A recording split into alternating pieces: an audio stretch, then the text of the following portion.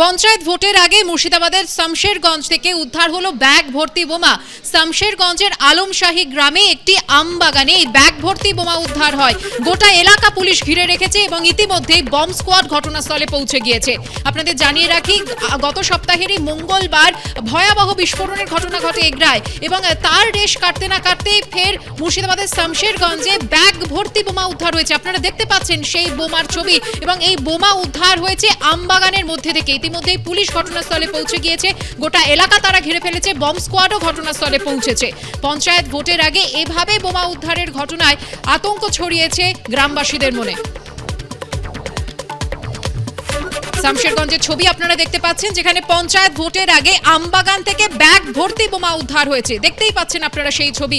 ব্যাগের মধ্যে থরে থরে সাজানো রয়েছে বোমা। কীভাবে এই ব্যাগ আমবাগানে এলো এবং কারা বোমা ভর্তি এই ব্যাগ রেখে গেল আমবাগানে তার খোঁজ চালাচ্ছে পুলিশ।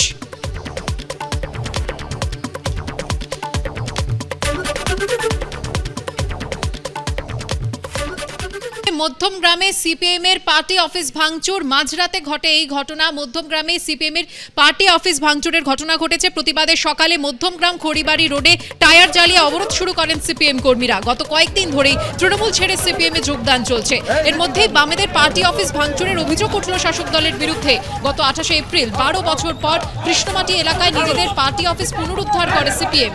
সেই পার্টি অফিসে ভাঙচুর নিয়ে তৃণমূলের প্রতিক্রিয়া এখনও মেলেনি। এই মুহূর্তে যে ছবি আপনারা দেখতে পাচ্ছেন, গতকাল রাতে মধ্যমগ্রামে সিপিএম এ পার্টি অফিস ভাঙচুর করে দেওয়ার পর এখন পার্টি অফিসের কি ছবি সকালবেলায় সেটা আপনারা যেমন দেখছেন, অন্যদিকে প্রতিবাদে মধ্যমগ্রাম খড়িবাড়ি রোডের টায়ার টায়ারে আগুন জ্বালিয়ে প্রতিবাদে নেমেছেন সিপিএম কর্মী সমর্থকেরা। সেই ছবিও একই সঙ্গে আপনারা দেখতে পাচ্ছেন। মধ্যমগ্রামের কৃষ্ণমাটি এলাকার ঘটনা।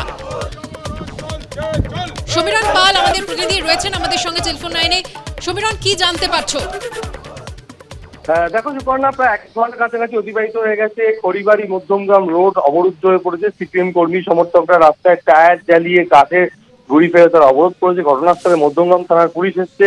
অবরোধকারীদের বোঝাবার চেষ্টা করছে। গত আঠাশে এপ্রিল দীর্ঘ বারো বছর পর এই সিপিএম এর এই কার্যালয়টি নতুন করে চালু করা হয়েছিল এবং সেই কারণে গত কয়েকদিন ধরে বারাসাত দু নম্বর ব্লকের বিভিন্ন পঞ্চায়েত থেকে সিপিএম কর্মীরা এই তৃণমূল কর্মী নেতারা তারা সিপিএম এ যোগ দিচ্ছিলেন এবং এই নিয়ে চাপানোটা শুরু হয়েছে এবং যেটা বাম আমল এক সময় সিপিএম এ যে দাপট ছিল এই সমস্ত অঞ্চলে, ফের সিপিএম জমি পুনরুদ্ধার করছে, এমনটাই সিপিএম নেতৃত্বের অভিযোগ।